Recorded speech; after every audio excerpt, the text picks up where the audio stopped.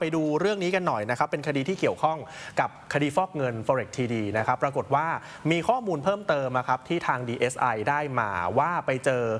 เส้นทางการเงิน ไปพัวพันกับบุคคลเพิ่มเติมกับผู้ต้องหากลุ่มแรกเนี่ยนะครับอีก 8 คนด้วยกัน ก็เลยจำเป็นต้องออกหมายเรียกมา แล้วใน 8 คนนี้มีศิลปินดาราดีเจชื่อดังอยู่ในนั้นด้วยนะครับ ไม่ว่าจะเป็นคุณฟิล์มรัฐภูมิ หรือแม้แต่ดีเจเพชรจ้านะครับ เรื่องนี้ครับทางพันตำรวจตรี วรนันท์ศรีล้ำผออกองคดีธุรการเงินนอกระบบ DSI เปิดเผยนะครับ บอกว่าตอนนี้หมายเรียกหนึ่งคนที่เป็นดารา นักแสดงชายชื่อดังมีการนัดเข้ามาพบกับพนักงานสอบสวนในวันที่ 8 สิงหาคมที่จะถึงนี้นะครับ ส่วนอีกหนึ่งคนก็เป็นดีเจชื่อดังหมายเนี่ยนัดก็คือวันที่ 17 สิงหาคม ก็จะเรียกให้ไปเข้าพบพนักงานสอบสวนของ DSI นะครับกองคดีธุรกิจการเงินนอกระบบศูนย์ราชการอาคาร B ชั้น 8 เพื่อที่จะให้เข้ามาชี้แจงถึงข้อเท็จจริงนะครับ เรื่องของการทำธุรกรรมทางการเงิน ร่วมกันกับนายอภิรักษ์โกธทิผู้ต้องหารายสำคัญนะครับ แล้วก็จะไปสอบถามถึงความสัมพันธ์ การรู้จัก ด้วยหรือไม่อย่างไรนะครับ ซึ่งพนักงานสอบสวนเนี่ยจะต้องพิจารณาตามหลักฐานในหลายส่วน ไม่ใช่เฉพาะแค่เส้นทางการเงินเท่านั้น เพื่อจะให้ความเป็นธรรมกับบุคคลที่ถูกเรียกเข้ามานะครับ อีกทั้งยังต้องดูด้วยว่ากรณีเงินของนายอภิรักษ์นั้น แล้วก็ธุรกิจ forex TD ที่มีการโอนกัน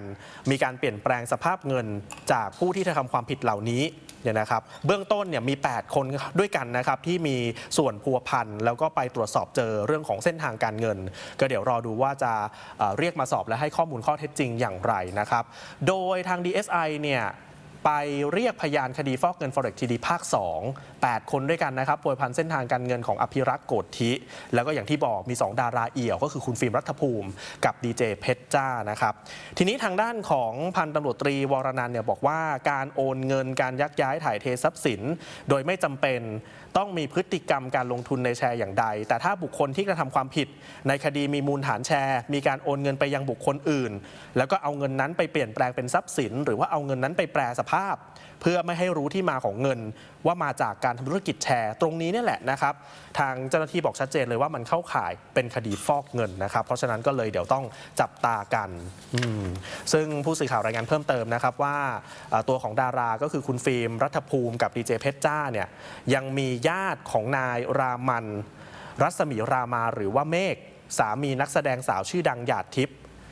หลังจากที่ไปเจอเส้นทางการเงินเกี่ยวข้องกับอภิรักษ์โกฏทิศนี่แหละนะครับ ขณะที่แฟนเก่าของเมฆรามา ก็ยังมีเส้นทางไปพัวพันกับบริษัทมีดีเพย์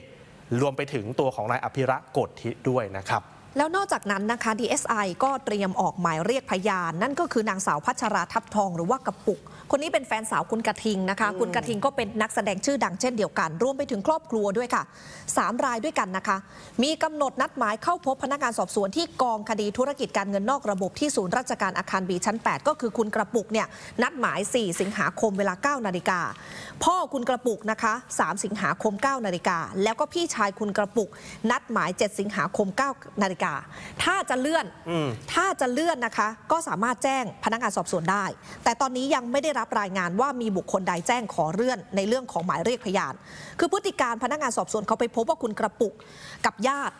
มีเส้นทางการเงินเกี่ยวข้องกับนายอภิรักษ์โกฏทิอดีตผู้บริหาร Forex TD นะคะ ซึ่งคนนี้เป็นผู้ต้องหาสำคัญมากอยู่ในคุกนะคะตอนเนี้ย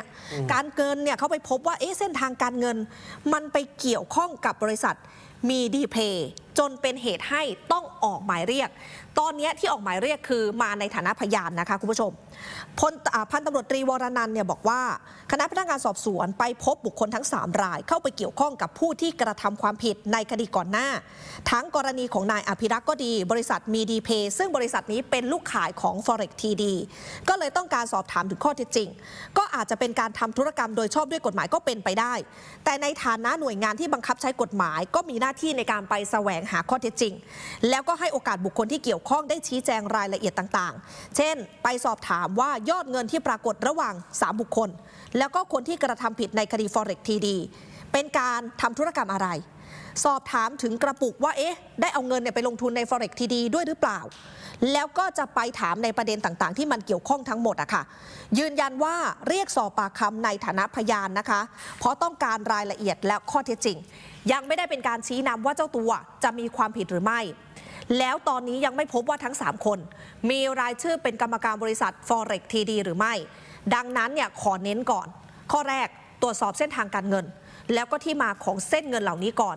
ถัดไปก็จะนำไปสู่การขยายผลเพิ่มเติมค่ะอืมก็เดี๋ยวจับตาความคืบหน้านะครับรายละเอียดเพิ่มเติมจากการที่บุคคลที่มีชื่อเสียงถูกออกหมายเรียกกันนะครับ